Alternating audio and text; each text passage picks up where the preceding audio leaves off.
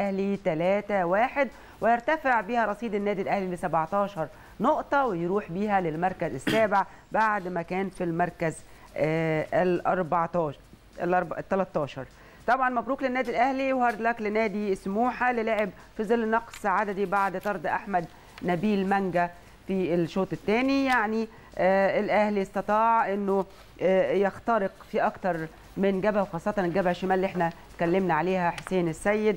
في عوامل كتير جدا.